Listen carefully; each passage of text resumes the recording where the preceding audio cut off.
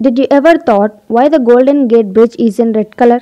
The color was selected by consulting architect Irving Morrow because it complements the natural surroundings and enhances the bridge's visibility in fog.